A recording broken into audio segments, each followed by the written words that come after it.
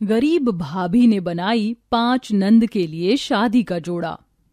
सुनीता आशा और रेखा तैयार हो गई? नहीं जी उन दोनों के पास एक भी कपड़े पहनने को नहीं है। तो तुम अपनी कोई साड़ी पहना दो दोनों को? अजी माँ ने तो दो ही साड़ी देकर तो विदाई की थी मेरी। इन्हीं के लिए बचा कर रखी मगर पता नहीं कैसे चूहों ने काट दी। आप चिंता मत कीजिए मैं आती हूँ।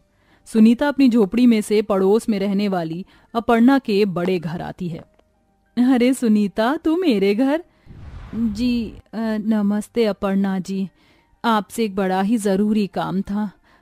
दरअसल आज मेरी दोनों ननद रेखा और आशा को लड़के वाले देखने आ रहे हैं।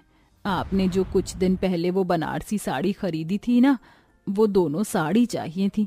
ऐसा कहते हुए उस गरीब भाभी के शब्दों में एक बड़ी लाचारी साफ़ दिख रही थी। तभी अपना पल्ला छुड़ाते हुए अपर्णा ने कहा, अरे तू मुझसे मेरी साड़ी हक से मांग तो ऐसे रही है जैसे खरीद कर दियो माफ़ करना, मगर मैं अपनी साड़ियाँ नहीं दे सकती। बड़ी महँगी हैं, पूरे लाख रुपए की हैं। तेरी गरीब ननद की औकात नहीं इतनी महँगी साड़ी पहनने की।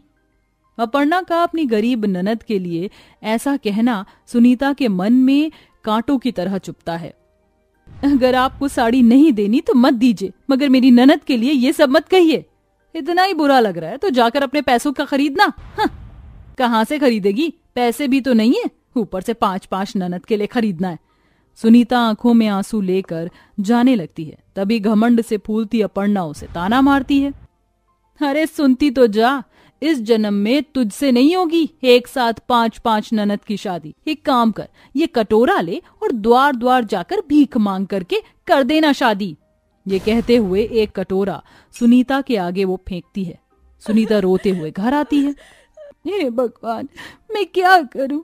आज मेरी दोनों ननद को लड़के वाले देखने के लिए आने वाले मगर एक ढंग की साड़ी भी घर में नहीं है, और मैं गरीब भाभी कुछ नहीं कर पा रही हूँ, कुछ नहीं।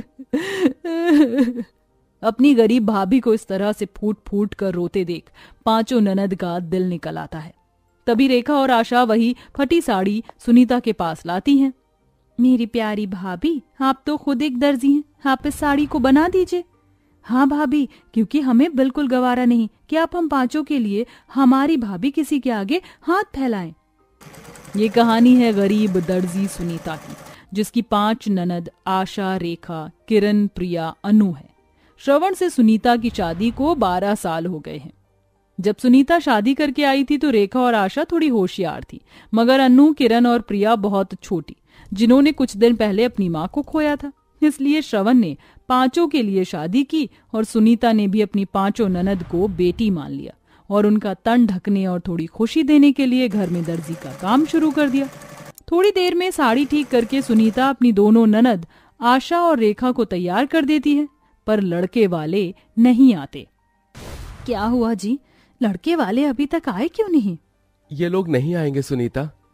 पर क्यों जी? क्योंकि उनको किसी गरीब घर की बेटी नहीं, बल्कि मालदार पार्टी चाहिए, जो मोटा दहेज दे सके। जाने मेरी बहनों का घर बसेगा भी कि कभी नहीं, मुझे तो समझ ही नहीं आता। कहते हुए श्रवण के मन में बसा अपनी पाँचों गरीब बहनों की शादी ना हो पाने का दुख आँसू बनकर गिरने लगा, पर सुनीता ने हिम्मत नहीं हारी और कहा, अजी, तुम देखना, मेरी पाँचों ननद को भगवान बहुत अच्छा अच्छा घर द्वार देंगे। और फिर घोड़ी चढ़कर सहरा बाँध कर, दूल्हा बनकर बारात लेकर इस गरीब भाभी की ननद को लेने आएँगे। सुनीता दिन रात कपड़े सीती, ताकि पाँचों की शादी अच्छे घर में हो जाए। वह भूखे प्यासे व्रत करके बस यही मांगती कि उनकी शादी हो जाए। एक दिन वह मंदिर की सफ़ाई कर रही थी। तभी एक गाड़ी में से पूजा की थाली लिए शारदा नाम की अमीर औरत उतरी। और तभी थाली में से एक फूल गिरा, जिसे उठाने के लिए शारदा नीचे झुकी तो सुनीता ने कहा, माँ जी, ये फूल ज़मीन पर गिर गए हैं। इसे भगवान पर मत चढ़ाइएगा, क्योंकि ये खंडित हो गए। सुनीता की बात शारदा के मन को भा गई। पंडित जी, वो जो सीढ़ी साफ़ कर रही है, वो कौन है? अरे, बड़ी गरीब औरत है। शारदा जी पाँच पाँच नंद हैं बिहाने को बिचारी की। ये तप उन्हीं के लिए कर रही है। रोज मंदिर साफ़ करती है और भगवान से बस यही मांगती है कि नंद की शादी हो जाए। भगवान जाने कब जाकर सुनेंगे। अगले दिन शारदा सुनीता का घर ढूंढते हुए अपने बेटों का रिश्ता लेकर आती है। माँ जी, आज मुझ गरीब भाभी की तपस्या जैसे सफल हो गई। मेरी ननद को इतना अच्छा घर मिलेगा, सोचा नहीं था। ये तो आपका बड़प्पन है जो आप मेरे घर से रिश्ता जोड़ रही हैं। मेरी गरीब ननद बड़ी भागो वाली है। बेटी, जिसके पास तुम जितनी प्यार करने वाली भाभी हो, उसकी ननद गरीब कैसे हो सकती है? बस अब तुम शादी की तैयारी करो। अच्छा अब इजाज़त दो। ऐसे ही दिन गुजरते और शादी का दिन पास आने लगता है। तभी एक कस्टमर उसे शादी का जोड़ा सीने को देकर जाती है, जिसे सुनीता सी रही थी। तभी लहंगा देखकर अनु कहती है, अरे वाह भाभी, ये ब्राइडल लहंगा तो बड़ा ही सुंदर है। मेरा भी पहनने का मन कर रहा है। थोड़े दिन ठहर जा अनु फिर तो भाभी हम पाँचों को शादी का जोड़ा दिलाएँगी ही। ये सुनकर गरीब सुनीता का हाथ सिलाई मशीन से एकदम से रुक जाता है। तभी आशा ने कहा, किरण, बिना सोचे समझे कुछ भी मत बोला करो। अरे, जानती भी हो, ब्राइडल लहंगा कितना महँगा आता है। भाभी हम पाँचों के लिए इतना महँगा लहंगा कहाँ से लाएँगी? तभी प्रिया दुख जताते हुए कहती है तो क्या हमारी शादी का जोड़ा नहीं आएगा? आशा दीदी, बचपन से ही सपना देखा था कि मेरी शादी महँगे से ब्राइडल लहंगे में होगी। हम इतने गरीब क्यों हैं? अपनी ननद प्रिया के आँसू देखकर गरीब दर्जी सुनीता का मन भर आता है और कुछ सोचकर वह लहंगे सीने बैठ जाती है। मैं गरीब दर्जी भाभी, अपनी पाँचों नंद को शादी का जोड़ा ज़रूर दिलाऊँगी, चाहे मुझे कितनी भी मेहनत क्यों ना करनी पड़े। इसी सोच को थामे हुए सुनीता पैसे जोड़ने में लग जाती है। आठ, नौ, दस। बस दस हज़ार। दिन रात मेहनत करने के बाद भी मेरे पास बस ये दस हज़ार रुपए ही जुड़े हैं।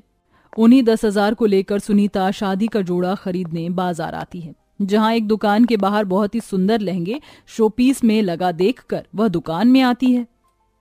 भाई साहब मुझे कोई सुंदर सा शादी का जोड़ा दिखाइए। मेरी ननद की शादी है। दुकानदार उसे महँगे से महँगा लहंगा दिखाता है। देखिए बहन जी ये हमारी दुकान में इस साल शादी के जोड़े में सबसे ज़्यादा डिमांड रही है। ये लहंगा आपको बस एक लाख रुपए में पड़ जाएगा। एक लाख? इतना दाम तो मैं नहीं दे पाऊँगी। ऐसा कीजिए आप मुझे थोड़ा सस्ता सा शादी का जोड़ा दिखाइए। कोई डेढ़ दो हज़ार तक मुझे पाँच जोड़े चाहिए। ये सुनकर दुकानदार सुनीता की कपड़ों को देखने लगता है और उसे झाड़ कर बोलता है। चल निकल यहाँ से। लहंगा खरीदने की औकात नहीं होती और इतनी महँगी दुकान में घुसाते हैं। भाग यहाँ से। भाई साहब आप धक्का क्यों दे रहे हैं? मैं जा रही हूँ। जा जैसा लहंगा तू ढूंढ रही है ना वो किसी फुटपाथ पर बेच रहा होगा कोई। कोई सेकंड हैंड चांदी का जोड़ा होगा। भरे बाज़ार उस गरीब दर्जी भाभी की बहुत बेइज्जती होती है। गुजरते दिन के साथ शादी की तैयारी शुरू हो जाती है। मगर आज तक भी सुनीता अपनी पाँचों ननद के लिए शादी का जोड़ा नहीं ला पाती। तभी एक रोज जब वह बाज़ार आती है तो वहाँ उसे लहंगे बनाने का कपड़ा बिकते दिखता है। मैं इन कपड़ों से अपनी ननद के लिए शादी का जोड़ा बना सकती हूँ। सुनीता, लहंगे के लिए महँगा मखमल का कपड़ा, गोटा, मोती, लेस खरीद लाती है और रात भर लगाकर शादी से दो दिन पहले वह अपनी नींद गंवाकर, अपनी पाँचों नंद के लिए शादी का जोड़ा सलती है और शादी का दिन भी आ जाता है। तभी पाँचों उसे अपनी मेहंदी दिखाती हैं। भाभी, देखो, कैसी लगी हमारी मेहंदी? अरे वाह, मेहंदी का रंग तो बहुत ही गाढ़ा चढ़ा है। वैसे मेरे पास तुम पाँचों को देने के लिए एक तोहफा है। कैसे दो भाभी दिखाइए ना? हाँ भाभी दिखाइए ना। सुनीता पाँचों को उनकी शादी का जोड़ा देती है तो वो बहुत खुश होती हैं। कैसा लगा तुम्हारी गरीब भाभी का तोहफा? ओ एम जी भाभी ये ब्राइडल लहंगा कितना औसम है। हाँ भाभी ये ब्राइडल लहंगा वाकई बहुत प्यारा और खूबसूरत है। तभी आशा ने रोते हुए कहा भाभी ये शादी का जोड़ा बनाने में आपने पूरी रात लगा दी खुद सोई भी नहीं। अगर मैं सो जाती तो ये शादी का जोड़ा कैसे बनता? और मैं अपनी प्यारी प्यारी सी पाँचों ननद के चेहरे पर, ये जो खुशी है, ये कैसे देखती? चलो अब तैयार हो जाओ। पाँचों शादी का जोड़ा पहनकर तैयार हो जाती हैं, जिसमें वो बहुत ही खूबसूरत दुल्हन लगती हैं। भाभी, कैसी लग रही हैं हम? बहुत ही खूबसूरत लग रही हो। भगवान करे तुम पाँचों की ये मुस्कुराहट बनी रहे। सुनीता अपनी पाँचों ननद को मंडप में ले आती है, जहाँ सभी की नज़र उन जोड़ों पर गड़ी होती है। इस तरह से एक गरीब भाभी अपनी पाँचों नंद की जोड़े में विदाई करती है।